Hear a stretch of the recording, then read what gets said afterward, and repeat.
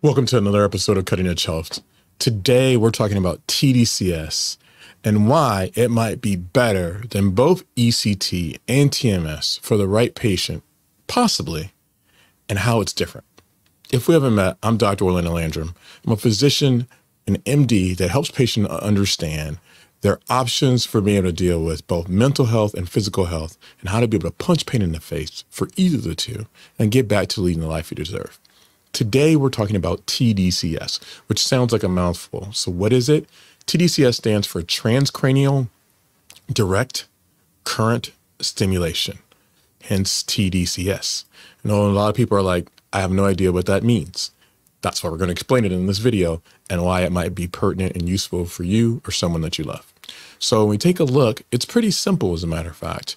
It looks like this. There's a headset that's in place, and there are two areas where you have an anode and cathode. And for those of you who may not remember high school physics, in essence, it gives an electrical current. And when I hear, hear that, when I hear patients hear that, they're extremely concerned. And I understand that, but we're going to tell you why you don't need to be concerned because the current is almost imperceptible, meaning not able to really be able to be perceived right? So traditionally, those areas that anode and cathode have a sponge that has just a little bit of saline that's there. It's connected to a box that looks like the following. And that box gives electrical current, traditionally of something around two milliamperes. So when we look at that two milliamps, when we kind of like evaluate that, we're going to give you an idea about what is that in relationship to other things. People will think about TMS, which we do at our clinic, it's called transcranial magnetic stim. And for those of you who don't know, we do TDCS as well. So if you are interested in potentially being able to come be a patient for, of ours and you're interested, we'll kind of let this run behind us and you can kind of give us a ring at some point in time. But what does TDCS help with? This electrical current that we're using that's supposedly low dose. What it does is it can be able to help with a number of different things. It can help with pain. It can help with fibromyalgia. It can help with depression. It can help with OCD. It can help with migraine. It can help with issues with consciousness and potentially cognitive decline.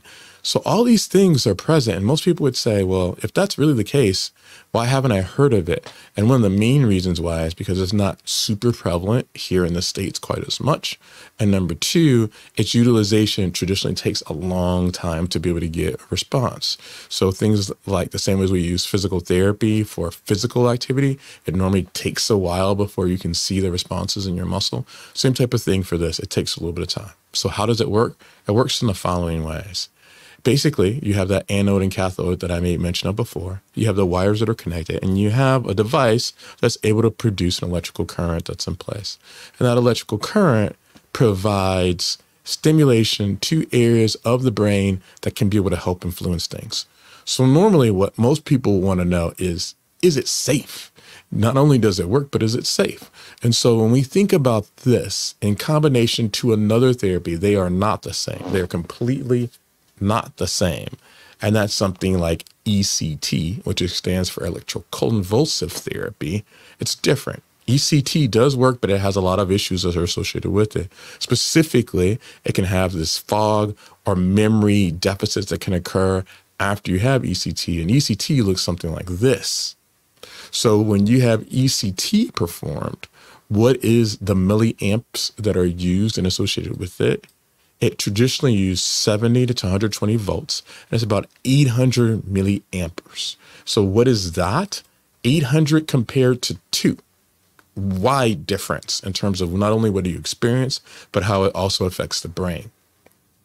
People will say ECT does a full reset of the brain. There's different postulates and other thought processes that have looked at imaging that's associated with it. While TDCS is much milder, you know, in orders of magnitude milder. So, what are some of the benefits? These are the benefits, as I may have mentioned before. TDCS can be able to improve pain intensity, pain episodes, sleep. It can help you be able to perform better. So, if you have uh, a job or activity that requires focus, it can be able to improve that. It can improve your mood. It can be able to improve your overall overall quality of life. So, all those things are potentially things that you can be able to improve by doing TDCS. So let's talk about those individual things. So you have this application of the straps that are in place with the sponges as made mention. And so what are some of the things that can improve? It can be able to improve depression.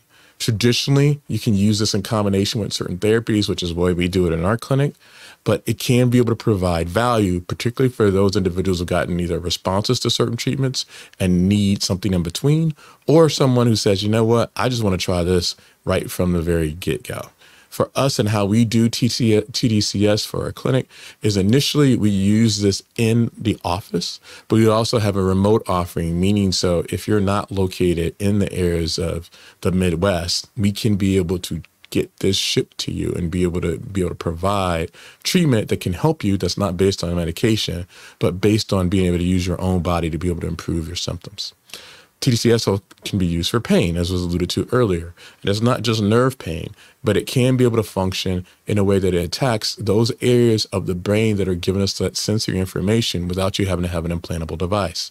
So pretty darn useful within that regard. TCS can also be used for addiction. It can be used for various different forms of addiction, whether it's smoking or alcohol or other um, stronger uh, substances that are illicit and uh, dependency. So it can be able to help in that regard ironically enough, is it can do other things besides this. It can be able to help for those individuals that are having some cognitive decline, who aren't quite as sharp, who don't remember things as much as what they used to. It can be able to help that and peak performance by making patients not only more aware, but able to have recall.